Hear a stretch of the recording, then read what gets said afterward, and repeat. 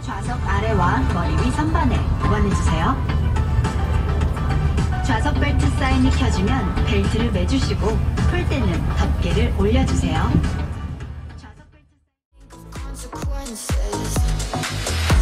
Control yourself, take only what you need from it.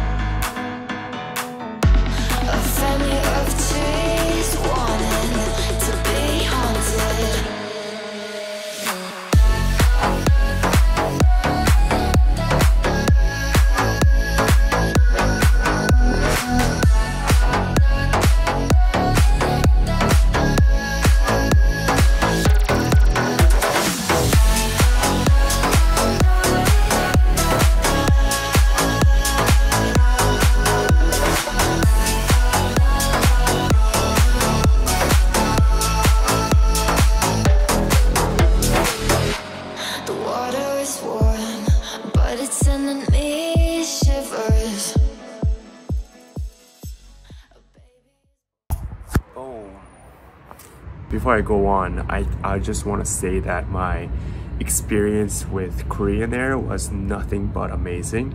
I just wanted to let you know what it's like to travel in 2021. So before before boarding, um, it depends on the country that you're visiting, but you are asked to get your PCR test done at a certified lab, and you need to get your results printed, and you need to do this I think 72 hours before your flight. And I did this in Vancouver, and I also did this in Seoul before boarding my flight from Incheon to Vancouver. When you when you arrive, um, each airport has different way of handling this. So, for example, for Vancouver Airport, they asked for my PCR report. Um, they would check it at the arrivals. But for Korea, I had to. They were doing temperature checks on all the all of the passengers. They were asking us to download a, uh, app that tracks you, um, that has your personal information.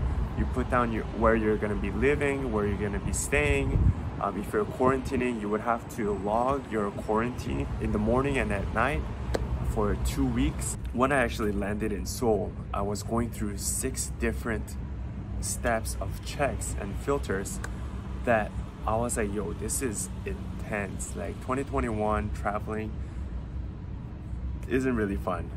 Once I landed in Korea, they asked me to take the PCR test again. And for Canada, when I landed, when I showed my proof of vaccination through ArriveCan, which is an app that they use to um, to submit my information before my flight, um, I didn't have to quarantine at all. I just went home. Um, they asked me to monitor my symptoms, and that's it. Also, each PCR test in Vancouver, uh, it ranges in price depending on the clinic that you go to. But the one that I went to costed me $230, and PCR test in Korea was roughly around $110 Canadian. Traveling during the pandemic is more costly.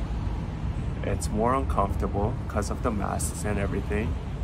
And also logistically, it's it gives you anxiety. Like when I'm, I, when I was leaving Korea, I, I went out to hang out with my friends, right? Um, like if, if you just see this tag above here, I went around places in Korea and the, the cases were spiking. So I was very anxious. I was so nervous. I went to go get my PCR test done. I kind of felt like I kind of had a, you know, uh, sore throat, you know, a little bit of a headache. I didn't, but I just felt like I had because there was just so much pressure that if I didn't pass this PCR test, I might have to stay in Seoul for longer.